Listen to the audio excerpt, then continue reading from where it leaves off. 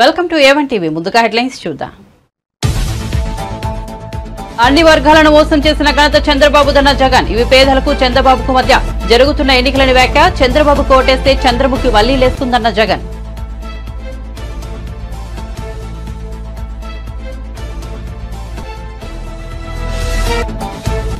చంద్రబాబు కీలక press meet. ఇళ్ళ వద్దనే పెన్షన్ల పంపిణీ సాధ్యమే. పెన్షన్ల పంపిణీపై ప్రభుత్వం తన వైఖరి మార్చుకోవాల్సిందేనని ఈసీ ఆదేశాలు పాటించాలని డిమాండ్.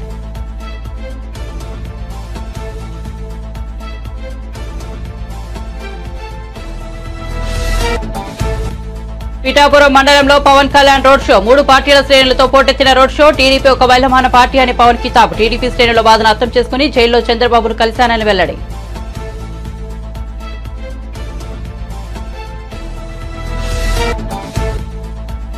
తెలంగాణ సీఎం రేవంత్ రెడ్డికి ఢిల్లీ పోలీసుల నోటీసులు. రిజర్వేషన్ల అంశం మీద అమిత్ షా ఫేక్ వీడియో వైరల్గా మారిందని బీజేపీ ఫిర్యాదు. కాంగ్రెస్ నేతలే ఆ ఫేక్ వీడియో క్రియేట్ చేశారని ఫిర్యాదు. పీసీసీ అధ్యక్షుల హోదాలో రేవంత్ రెడ్డికి ఢిల్లీ పోలీసుల నోటీసులు. ఇక వార్తల్లోకి వెళ్తే వైసీపీకి ఓటు వేస్తేనే అన్ని సంక్షేమ పథకాలు కొనసాగుతాయని ముఖ్యమంత్రి జగన్ అన్నారు. చంద్రబాబుకు ఓట్లు వేస్తే అన్ని పథకాలు ఆగిపోతాయని చెప్పారు. రెండు వేల పద్నాలుగు ఎన్నికల్లో ఇదే కూటమి దొంగ హామీలతో ప్రజలను మోసం చేసిందని విమర్శించారు. చంద్రబాబును నమ్మితే ప్రజల జీవితాలు గోవిందా గోవిందా అని అన్నారు. అన్ని వర్గాలను మోసం చేసిన ఘనత చంద్రబాబుదని విమర్శించారు. అనకాపల్లి జిల్లా చోడవరంలోని కొత్తూరు జంక్షన్ హాల్లో ఆయన ప్రసంగిస్తూ ఆయన వ్యాఖ్యలు చేశారు. గత ఎన్నికల్లో ఇచ్చిన హామీల్లో తొంభై తొమ్మిది శాతం అమలు చేశామని జగన్ తెలిపారు. చంద్రబాబు దత్తపుత్రుడు రామోజీరావు నోటాకు వచ్చినని సీట్లు కూడా రాని కాంగ్రెస్ పార్టీ వీళ్ళందరితో మన యుద్ధం చేయబోతున్నామని చెప్పారు. మరో రెండు వారాల్లో జరగబోతున్న కురుక్షేత్ర యుద్ధానికి సిద్ధమా అని ప్రశ్నించారు. ఈ ఎన్నికలు జగన్ చంద్రబాబు మధ్య కాదని పేదలకు చంద్రబాబుకు మధ్య జరుగుతున్న ఎన్నికలని చెప్పారు. ఈ ఎన్నికలు కేవలం ప్రజాప్రతినిధులకు ఎన్నుకునేందుకు మాత్రమే కాదని ఇవి పేదల భవిష్యత్తును నిర్ణయించే ఎన్నికలని అన్నారు. చంద్రబాబుకు ఓటు వేసే చంద్రముఖి మళ్ళీ లేస్తుందని రక్తం తాగేందుకు తలుపు తడుతుందని చెప్పారు. మళ్ళీ మోసపోవటమే. ఇది చంద్రబాబు గత చరిత్ర చెప్తా ఉన్న సత్యం. ఇదే మళ్ళీ మోసం చేసేందుకు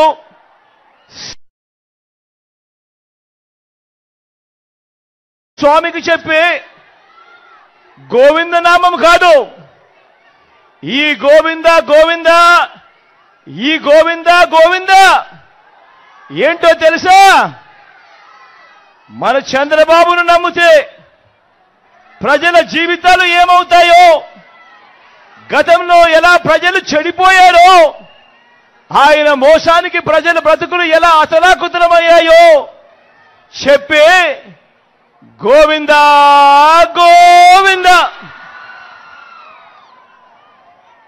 మరి చంద్రబాబు ఈ రాష్ట్ర ప్రజలను నమ్మించి ఏమేమి గోవింద గోవింద చేశాడో చూద్దామా? చూద్దామా? ఒకసారి గుర్తుకు తెచ్చుకుందామా? సిద్ధమేనా?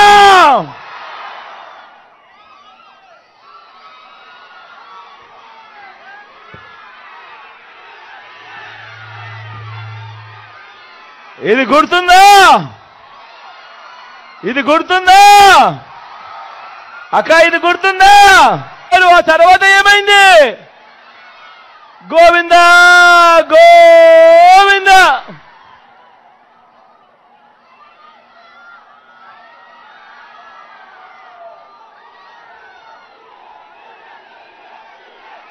ఇచ్చారు ఏమైంది మళ్ళా? ఏమైంది అక్క తర్వాత? ఏమైందన్నా తర్వాత? గోవింద గోవింద. ఇప్పటిదాకా ఇస్తా ఉన్నా. సున్నా వడ్డీ కూడా. గోవింద గో. ఇదే పెద్ద మంచి చంద్రబాబు నాయుడు గారు. ఇదే పెద్ద మంచి చంద్రబాబు నాయుడు గారు. రెండు వేల పద్నాలుగులో ముఖ్యమైన హామీలంటూ ఇచ్చిన ఇంకొక హామీ. ప్రతి పేదవాడికి మూడు సెట్ల స్థలం అని చెప్పి బరి తెగించి కూడా మాట్లాడాడు ఈ పెద్ద మనిషి. ప్రత్యేక ప్యాకేజీ గోవింద విభజన హామీలు గోవింద సింగపూర్కు మించిన రాజధాని అన్నాడు ఇదే పెద్ద మనిషి చంద్రబాబు నాయుడు. పక్కనే అన్ని హంగులతో కనిపిస్తా ఉన్న వైజాగ్ను వదిలేశాడు. సింగపూర్కు మంచి సింగపూర్కు మించి రాజధాని అన్న ఈ వ్యక్తి మన విశాఖపట్నం పక్కనే కనిపిస్తా ఉన్నా కూడా అన్ని హంగులతో ఆ విశాఖపట్నాన్ని వదిలేశాడు. పోనీ ఆ గ్రాఫిక్స్ రాజధాని ఏమైంది అని అంటే అది కూడా గోవిందా! గోవిందా! జనసేనాని పవన్ కళ్యాణ్ పిఠాపురం మండలంలో రోడ్ షో నిర్వహించారు. చందుర్తి జంక్షన్ నుంచి ప్రారంభమైన రోడ్ షోకు విశేష స్పందన లభించింది. జనసేన టీడీపీ బీజేపీ శ్రేణులు పాల్గొనడంతో రోడ్ షో పోటెత్తిపోయింది. కుమారపురం వద్ద పవన్ రోడ్ షో మొదలైంది ఈ రోడ్ షోలో పవన్తో పాటు Pithapuram TDP incharge SVSL Varma కూడా పాల్గొన్నారు. రోడ్ షోలో పవన్ మాట్లాడుతూ నాడు చంద్రబాబు జైల్లో ఉన్నప్పుడు టీడీపీ శ్రేణుల వేదన తనకు అర్థమైందని అన్నారు. టీడీపీ నేతలు కార్యకర్తలు వారి బాధను నేరుగా తనతో పంచుకోకపోయినా వారి మనసులో బాధను అర్థం చేసుకుని నేరుగా రాజమండ్రి జైలు వద్దకు వెళ్ళి చంద్రబాబుకు మద్దతు తెలిపారని వివరించారు. అందరూ భయపడుతున్న రోజుల్లో తాను వెళ్ళి చంద్రబాబును కలిశానని గుర్తు చేశారు. జైలు ఆ రోజున నేనేం ఆశించను నేను ఆశించేదల్లా ఒకటే. రాష్ట్రం బాగుండాలి. రాష్ట్ర విభజన జరిగిన తర్వాత మన ఉపాధి అవకాశాలు కానీ మన నిధులు క్షా మనకి కొరత ఉంది ఇవన్నీ సరితీసుకోవాలి బలమైన నాయకత్వం ఉండాలి అన్న ప్రయత్నం. చంద్రబాబు గారిని అరెస్ట్ చేసినప్పుడు మీరు కూడా ఆలోచించండి స్వార్థంగా. ఆ పరిస్థితులు ఇంకో పార్టీ నాయకుడు ఏం చేస్తాడు? మొత్తం ఆయన బాగుండాలి తొందరగా బయటికి రావాలని తెలియదు చెప్పి బయటకు వచ్చేస్తాడు. పార్టీని ముందుకు తీసుకెళ్ళాలి. నేను చెప్పండి అవునా కదా సార్? ఇది సహజంగా కాదు? కానీ ఎందుకు చేశానంటే ఇందాక వర్మ గారు చెప్పినట్టుగా మీరందరూ ఒక పార్టీని నమ్మి ఒక పార్టీ సిద్ధాంతాన్ని నమ్మి నాలుగు దశాబ్దాలుగా ఆ కేడర్ ఉంది తెలుగుదేశంకి.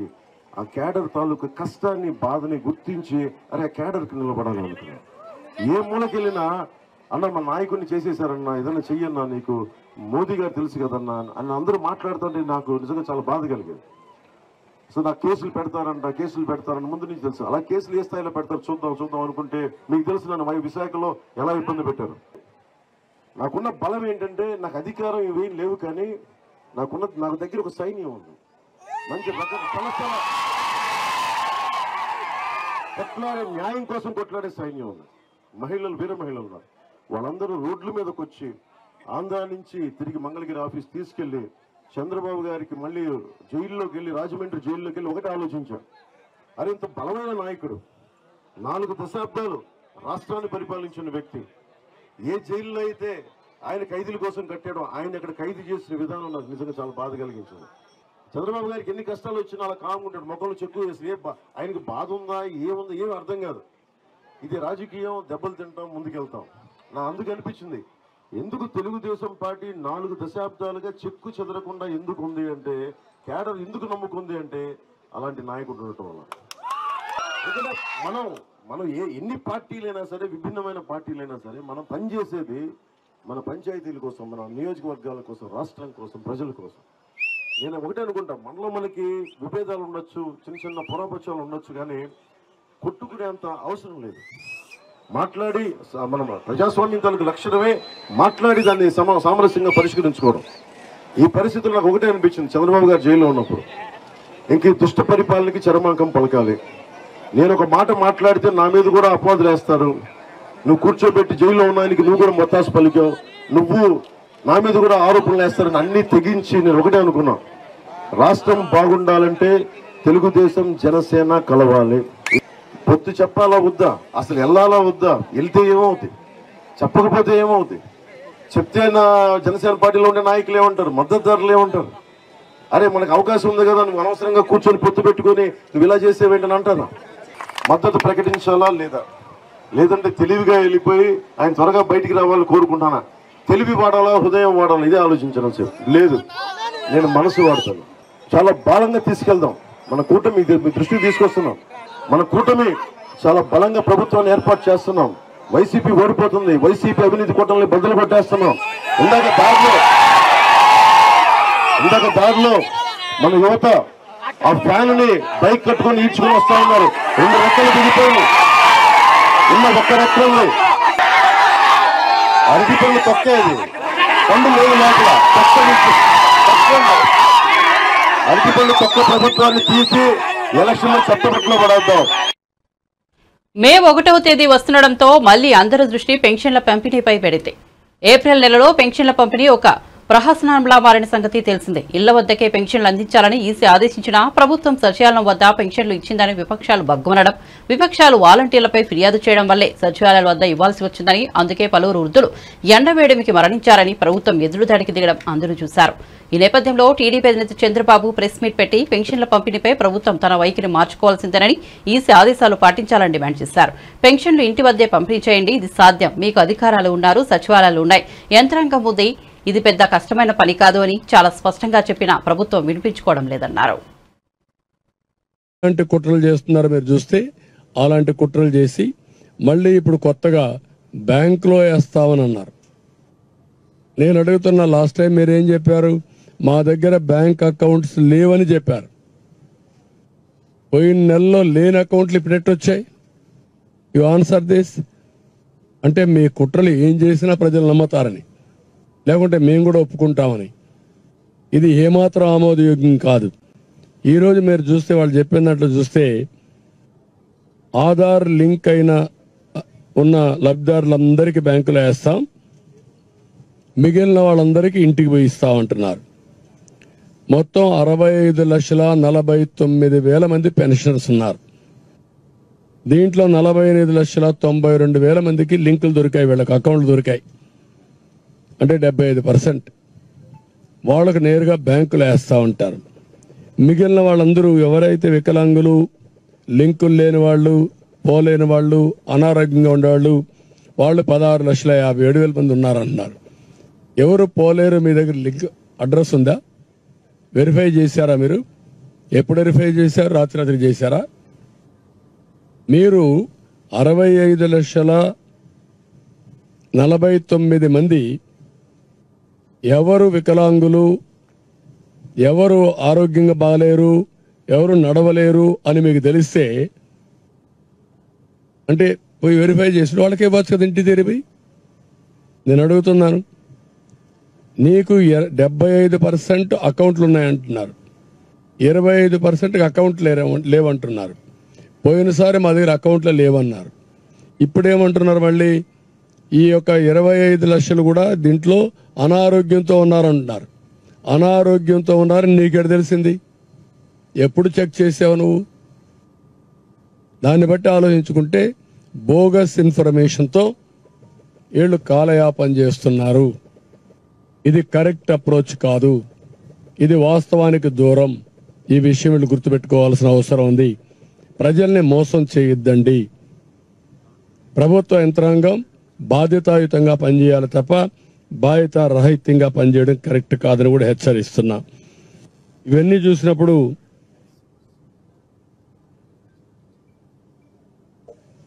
దీనివల్ల చాలామంది అకౌంట్ వేస్తాం. ముసలి వాళ్ళకి అకౌంట్ వేసిన తర్వాత బ్యాంకులో పడిందా తెలుసుకోవాలి కదా? ఎవరు చెప్పాలి వీళ్ళకు? దానికి ఒక ఇప్పుడు అందరూ సెల్ ఫోన్లో చూసుకుంటారా ముసలోళ్ళందరూ? ఆ శక్తి ఉందా? అంటే మీరు ఎన్ని డ్రామాలంటే మళ్ళా వీళ్ళ ఆ బ్యాంక్కి వెళ్ళాలి అంటే నిన్న సచివాలయం చుట్టూరు తిప్పించారు. ఇప్పుడు బ్యాంకుల చుట్టూరు తిప్పిస్తారు. ఒక విషయాన్ని ఎంత కాంప్లికేట్ చేస్తున్నారంటే ఏ విధంగా ప్రజల జీవితాలతో ఆడుకుంటున్నారంటే ఇంత మునుపు రెండు కిలోమీటర్లు మూడు కిలోమీటర్లు వచ్చేవాడిని ఇప్పుడు బ్యాంక్ అయితే ఐదు కిలోమీటర్లు ఉంటుంది. కనీసం అన్ని ఊర్లలో పక్కనే బ్యాంక్ ఉండదు. ప్రతి ఒక్క పంచాయతీలో కూడా కొన్ని బ్యాంకులు ఉండవు. అంటే పంచాయతీలు ఇచ్చేది పోయి ఇప్పుడు వేరే దగ్గరికి పోవాలి. అక్కడ మేనేజర్ లేకపోతే పడిగాపులు గాయాలి అంటే వీడు అవసరానికి డబ్బులు రాకుండా చేసి మళ్ళీ నిందలేయాలి బురదల్లాలి ఇది ఒక కార్యక్రమం కింద పెట్టుకొని కుట్ర చేసేదానికి తెరలేపారు. దీన్ని నేను చాలా తీవ్రంగా ఖండిస్తున్నా. నలభై ఐదు నలభై ఆరు డిగ్రీలు టెంపరేచర్. నల వడగాల్పులు. మంచినీళ్ళు లేని పరిస్థితి చాలా గ్రామాల్లో. ఇలాంటి సందర్భంలో ఇప్పుడు ఎక్కడ చూసినా మంచినీళ్ళ కోసం ఆందోళన చేస్తున్నారు.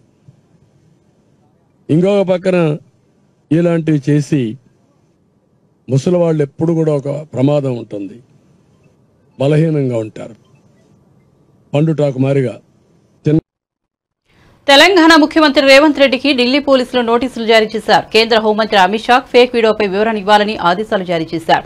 మే ఒకటిన తేదీ కల్లా వివరణ ఇవ్వాలని ఆదేశించారు. రిజర్వేషన్ల అంశం మీద అమిత్ షాపై కాంగ్రెస్ నేతలు ఫేక్ వీడియోను క్రియేట్ చేశారని బీజేపీ నేతలు ఫిర్యాదు చేశారు. దీంతో తెలంగాణ పీసీసీ అధ్యక్షుడిగా ఉన్న రేవంత్ రెడ్డికి నోటీసులు ఇచ్చారు. ఢిల్లీ నుంచి వచ్చిన పోలీస్ గాంధీ భవన్కు వెళ్ళారు. పోలీసులు గాంధీ భవన్కు వెళ్ళారు. మే ఒకటిన ఫోన్ తీసుకుని విచారణకు రావాలని పోలీసులు తెలిపారు. అమిత్ షా మార్ఫింగ్ వీడియోను రేవంత్ రెడ్డి ఎక్స్ వేదికగా పోస్ట్ చేసినట్లు ఢిల్లీ పోలీసులు చెబుతున్నారు.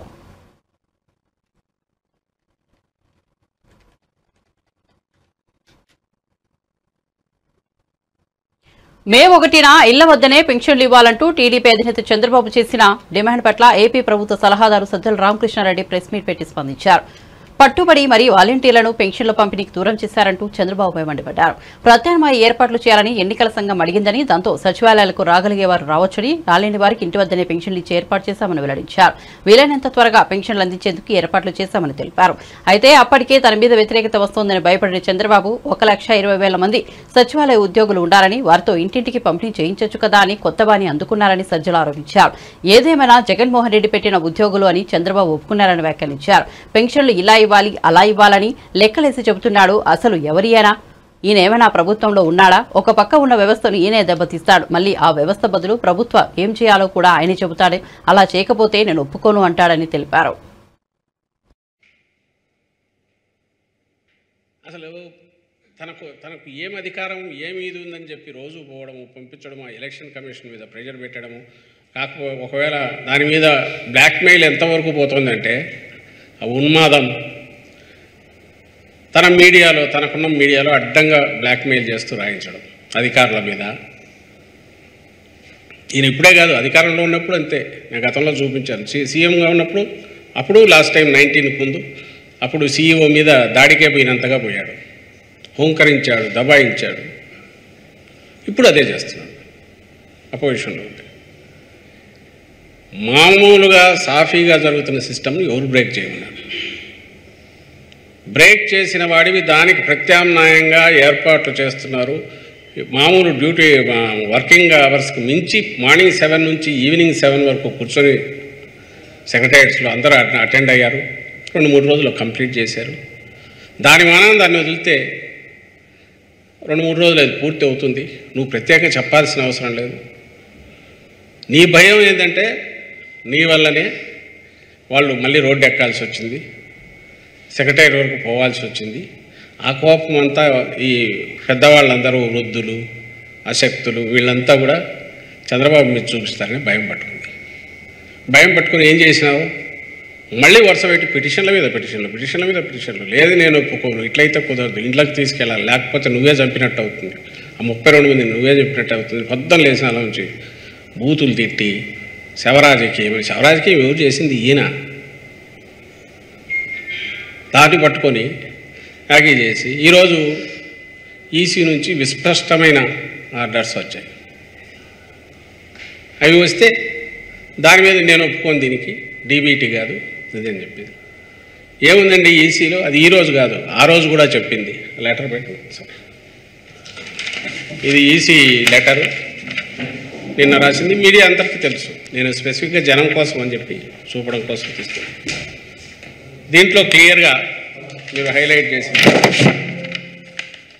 హైలైట్ చేసింది చూస్తే. ఇది ఎప్పుడు? They referred. I'm directed to refer to the commissioners commissions letter of even number dated thirtieth March. అప్పట్లో ఇచ్చిన లెటర్కే reply on the subject cited which inter alia states that the కోర్ట్స్లో the government of Andhra Pradesh to make alternate arrangements for distribution of the benefits of ongoing schemes to already selected beneficiaries using DBT bracket లో electronic transfer preferably or through other regular employees courts and ఇది ఎప్పుడు రాసింది మార్చి thirtieth దాన్ని మళ్ళీ వీళ్ళు వెంటపడి ఇళ్ళ దగ్గర ఇవ్వమంటే ఇప్పుడు ఈ లెటర్ ట్వంటీ సిక్స్త్ ఏప్రిల్ దీంట్లో దాన్ని మెన్షన్ చేస్తూ కిందే మళ్ళీ డైరెక్ట్ చేశారు. It is requested to follow the direction issued by the commission in letter and spirit so that beneficiaries may avail intended benefits without any hardship so March thirty ఎత్తున రాసిన ఆ రోజు రాసిన లెటర్లోనే డీబీటీ ప్రిఫరబులీ డీబీటీ అన్నారు. EC ఈసారి రాసిన letter దాంట్లో దాన్ని letter in letter and spirit implement చేయమని రిక్వెస్ట్ చేశారు. ఈ దీని అర్థం ఏంది? డీబీటీ అనేది ఆ రోజు రాసినప్పటికీ కేసీఆర్ ప్రభుత్వం వనరులను దోచుకుని రాష్ట్రాన్ని అప్పుల పాలు చేసిందని ఉప ముఖ్యమంత్రి మల్లుబట్టి విక్రమార్క ఆగ్రహం వ్యక్తం చేశారు. సోమవారం ఆయన మీడియాతో మాట్లాడుతూ కేసీఆర్ రోజు రోజుకు దిగజారి మాట్లాడుతున్నారని విమర్శించారు. కరెంటు కోతలు లేకున్నప్పటికీ ఎప్పటికీ పవర్ పోతుందని దిగజారిపోతున్నారని మాట్లాడుతున్నారన్నారు. ఇలాంటి తప్పుడు ప్రచారం సరికాదన్నారు. కేసీఆర్ ఇంకా సిగ్గు లేకుండా బస్సు యాత్రల పేరుతో తిరుగుతున్నారన్నారు. తెలంగాణలో రాజకీయ చైతన్యం ఎక్కువగా ఉంటుందన్నారు. నరేంద్ర మోదీ ప్రభుత్వం దేశంలో ప్రజాస్వామ్యాన్ని నాశనం చేసిందన్నారు. దేశాన్ని దోపిడీ చేసిందని ఆరోపించారు. అన్ని వర్గాలకు వనరులు సంపద దక్కాలన్నదే కాంగ్రెస్ లక్ష్యమన్నారు. జనాభా దామాషా పద్ధతిలో వనరుల పంపిణీ జరగాలన్నారు. క్యాపిటలిస్టులకు బీజేపీ సర్కార్ దోచిపెడుతోందని మండిపడ్డారు. ప్రజాస్వామ్యాన్ని ఆస్తులను కాపాడుకోవడానికి కాంగ్రెస్ పార్టీకి ఓటు వేసి గెలిపించాలని పిలుపునిచ్చారు. సో ఈ ఈ నియోజకవర్గంలో కూడా రేపొద్దున మిగతా సిపిఎం పార్టీ నాయకులు అందరితో కూడా నేను మాట్లాడి అందరూ సమన్వయం చేయడం కోసం ఒక కమిటీ కూడా వేస్తున్నాం అని ఆ, మీ ప్రశ్న ఏంటంటే ఇక్కడ ఓన్లీ ఇక్కడ ఎమ్మెల్యేస్ వరకే పిలిచారు. మమ్మల్ని ఎలా చేయాలని చెప్పి కొద్దిమంది విద్యార్థులు ఉతక కోరుతున్నారు ఒక యూనివర్సిటీ వరకు. ఆ, ఆయా పార్టీలకు ఇచ్చినటువంటి ఎలక్ట్రల్ బాండ్స్ ద్వారా స్పష్టంగా అర్థమైంది. దొంగచాటుగా చేసేటువంటి అవినీతి ఏంటనేది ఒక దెబ్బకి బయటకు వచ్చేసింది. ఇంకా దాని తర్వాత మాట్లాడటానికి ఏముంది? ఈ దేశంలో అవినీతి పార్టీ అతిపెద్ద అవినీతి పార్టీ ఏదైనా ఉంటే భారతీయ జనతా పార్టీ తర్వాత బీఆర్ఎస్ పార్టీ రెండే కనపడ్డాయి. మేము దీనికి సంబంధించిన దీనికి సంబంధించిన దాన్ని ఇమ్మీడియట్గా ఈ వార్డన్ను విజయవాడ పశ్చిమ టికెట్ దక్కకపోవడంతో జనసేన పార్టీకి గుడ్ బై చెప్పి వైసీపీలో చేరిన పోతిన వెంకట మహేష్ మరోసారి పవన్ కళ్యాణ్ పై ధ్వజమెత్తారు. పవన్ కళ్యాణ్ ఎన్నికల అఫిడవిట్ నిండా పచ్చి అబద్దాలు మోసాల చిట్టా ఇచ్చారని అన్నారు. రెండు వేల పద్నాలుగులో జనసేన పార్టీ పెట్టిన తర్వాత పవన్ కళ్యాణ్ ఆస్తులు బాగా కొనుగోలు చేశారని ఆయనకు సినిమా రంగం కంటే రాజకీయ రంగమే బాగా కలిసినట్టుగా అర్థమవుతోందని పేర్కొన్నారు. రాజకీయాల్లోకి వచ్చిన తర్వాత బాగా లాభాలు వచ్చాయని చంద్రబాబు ఇచ్చిన ప్యాకేజీతో ఆస్తులు కొనుగోలు చేసినట్లు స్పష్టమవుతోందని పోతిన మహేష్ వివరించారు. చెప్పేందుకు కూడా నాకు చాలా గర్వంగా ఉంది. జగన్మోహన్ రెడ్డి గారు మరో ప్రజలు ఎప్పటికీ కూడా హర్షించరని కూడా ఈ సందర్భంగా తెలియజేస్తా ఉన్నా. జగన్మోహన్ రెడ్డి గారికి ప్రజల్లో వస్తున్నటువంటి తిమేస్తారని కూడా ఈ సందర్భంగా ప్రజలకైతే తెలియజేస్తా ఉన్నారు. పేద ప్రజలందరూ కూడా ఆయన్ని కొనియాడుతా ఉన్నారు. అధికారులతో సహా బయటికి వస్తాం. ఎవరైనా సరే దీని మీద మాతో మాట్లాడచ్చు. మాతో మాట్లాడచ్చు. ఆయనకి ఎంతసేపు కూడా పెత్తందారులకి పెట్టుబడిదారులకి పారిశ్రామికవేత్తలకి దోచిపెట్టడం ఆయన ఎజెండా. అందుకే ఆయన అధికారంలోకి వస్తారు. వాళ్ళకి దోచిపెట్టడానికి ఆయన అధికారంలోకి వస్తారు. కాలంతో ముందుకెళ్తున్నారు కాబట్టినే ఆయన బతింతదని కోర్టులో కేసులు వేస్తున్నటువంటి అంశాన్ని పేద ప్రజలందరూ కూడా కూటమి కన్నా మిన్నగా అసెంబ్లీ పార్లమెంట్ స్థానాలు ఇచ్చినటువంటి గొప్ప వ్యక్తి జగన్మోహన్ రెడ్డి గారు. జగన్మోహన్ రెడ్డి గారు. కాపులకి మేలు చేసినటువంటి వ్యక్తే జగన్మోహన్ రెడ్డి గారు. కానీ కానీ కాపుల్ని ఓటు బ్యాంకుగా మార్చుకోవాలి. కాపుల్ని చంద్రబాబు నాయుడు గారికి ఏదో విధంగా పలకి మోసేలా తయారు చేయాలి. జనసేనని పసుపు సేనగా మార్చేయాలి. అని నిరంతరం కుక్క కన్నా ఎక్కువ విశ్వాసం చూపిస్తున్నటువంటి వ్యక్తే పవన్ కళ్యాణ్ గారు. తాడిపత్రిలో ముఖ్యమంత్రి జగన్మోహన్ రెడ్డి పర్యటన సందర్భంగా చిరు వ్యాపారుల పొట్టగొట్టారని పట్టణ municipal chairman JC Prabhakar Reddy ఆగ్రహం వ్యక్తం చేశారు. చిరు వ్యాపారులపై స్థానిక ఎమ్మెల్యే ఫ్యాక్షనిజం చూపిస్తున్నారని మండిపడ్డారు. ముఖ్యమంత్రి జగన్ పర్యటన సందర్భంగా తాడిపత్రి పట్టణంలో గత మూడు రోజులుగా ఆంక్షలు విధించారు. రోడ్డు పక్కన ఉన్న చిరు వ్యాపారుల దుకాణాలను ముయించారు. చిన్న చిన్న రేకుల షెడ్లను సైతం కూల్చివేశారు. దీంతో చిరు వ్యాపారులు దిక్కుదోచిన స్థితిలో ఉండిపోయారు. దీనిపై Tadipatri municipal chairman JC Prabhakar Reddy తీవ్రస్థాయిలో స్పందించారు. ఓట్లు వేసినందుకు చిరు వ్యాపారులకు ఇచ్చే బహుమతి ఇదేనా అంటూ ప్రశ్న ప్రశ్నించారు. స్థానిక ఎమ్మెల్యే అరాచకం తప్ప అభివృద్ధి లేదని తాడిపత్రి పట్టణాన్ని నాశనం చేశారని ఆగ్రహం వ్యక్తం చేశారు. రోడ్డు పక్కన చిరు వ్యాపారులు పొట్టకొట్టారని మండిపడ్డారు.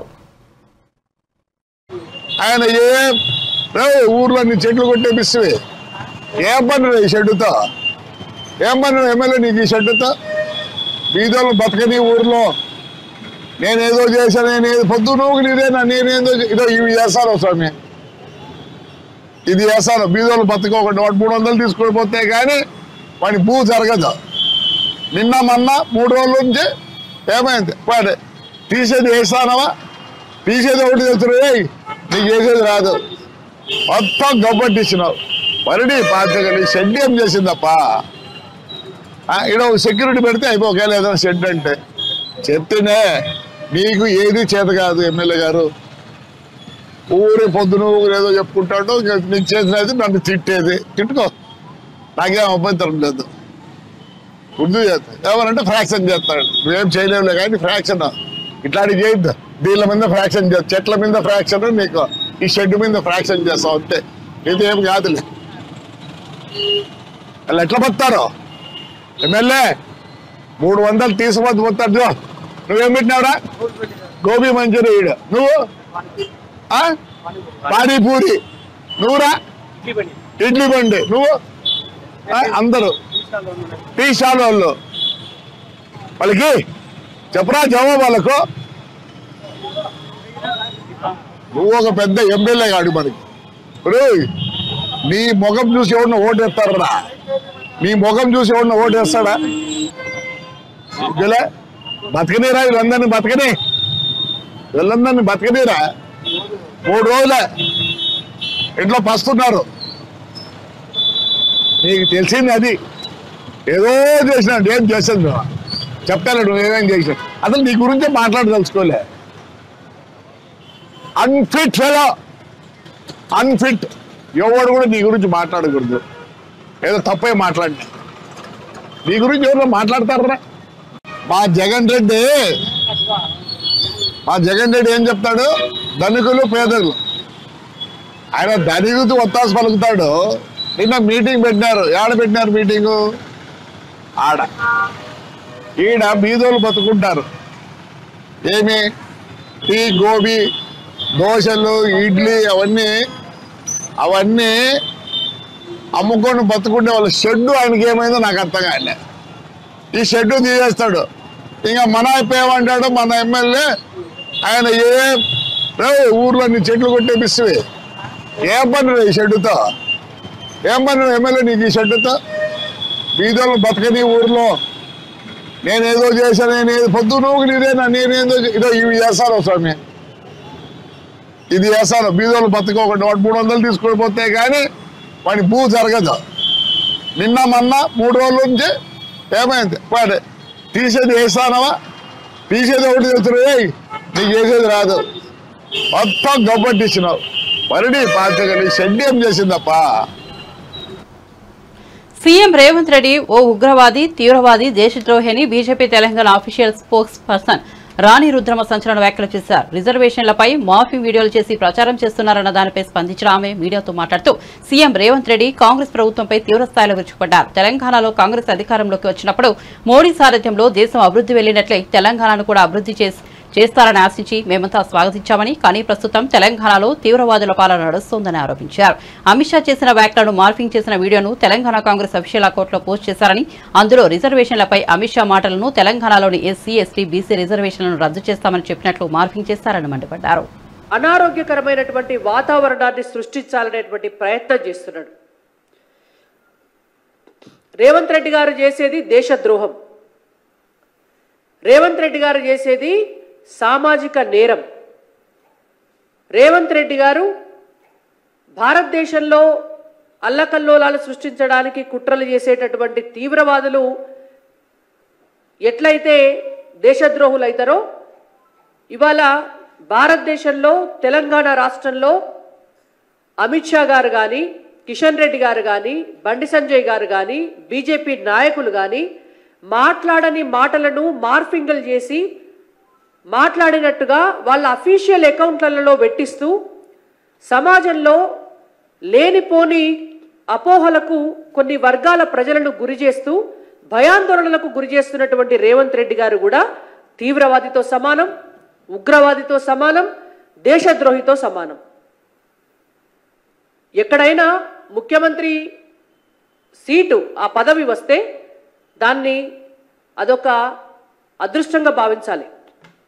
ఒక రాష్ట్ర ప్రజలకి సేవ చేసేటటువంటి ఒక గొప్ప అవకాశాన్ని ప్రజలు ఆశీర్వదించి ఇచ్చినట్టుగా భగవంతుడు ఆశీర్వదించినట్టుగా ఈ రాష్ట్రాన్ని మరింత ఉన్నతమైనటువంటి స్థితిలకు తీసుకుపోయి ప్రజలకు తినటందుకు తిండి ఉండేటందుకు నీడ చేసుకునేటందుకు ఉపాధి కల్పించి రాష్ట్రాన్ని దేశంలో నెంబర్ వన్గా నిలబెట్టాలనేటువంటి ఒక స్పృహ కలిగిన జ్ఞానంతో పనిచేయాలి రాష్ట్ర ముఖ్యమంత్రి అంటే. అది ఏ పార్టీ వాళ్ళన్నా కానీ కాంగ్రెస్ పార్టీ అధికారంలోకి వచ్చి రేవంత్ రెడ్డి గారు ముఖ్యమంత్రి అయినాడు. మేమందరం కూడా ఆహ్వానించినాం శుభాకాంక్షలు తెలియజేసినాం. ఈ రాష్ట్రాన్ని ముందుకు తీసుకుపోవాలి. కేంద్రంలో ఉన్నటువంటి భారతీయ జనతా పార్టీ ఎట్లయితే దేశాన్ని ముందుకు తీసుకుపోతుందో బీజేపీ సహకారంతో ఇవాళ రాష్ట్రంలో కూడా అభివృద్ధి ఫలాలు ప్రజలకు అందించేటట్టుగా ఒక సహృద్భావ వాతావరణంలో సామరస్య వాతావరణంలో తెలంగాణను ముందుకు తీసుకుపోవాలి అని శుభాకాంక్షలు తెలియజేసినాం. తెలంగాణ ప్రజలు కూడా అదే కోరుకున్నారు. బులెటిన్ ముగించే ముందు హెడ్లైన్స్ మరోసారి చూద్దాం. అన్ని వర్గాలను మోసం చేసిన ఘనత చంద్రబాబుతోన్న జగన్. ఇవి పేదలకు చంద్రబాబుకు మధ్య జరుగుతున్న ఎన్నికలని వ్యాఖ్య చంద్రబాబు కోటేస్తే చంద్రబాబుకి మళ్ళీ లేస్తుందన్న జగన్.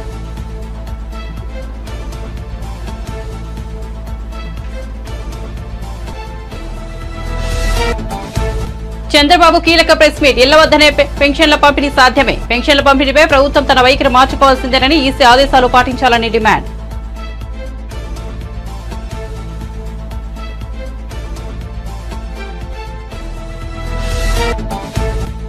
పిఠాపురం మండలంలో పవన్ కళ్యాణ్ రోడ్ షో. మూడు పార్టీల శ్రేణులతో పోటెత్తిన రోడ్ షో. టీడీపీ ఒక బలమైన పార్టీ అని పవన్ కితాబు టీడీపీ శ్రేణులు బాధను అర్థం చేసుకుని జైల్లో చంద్రబాబును కలిశానని వెల్లడి.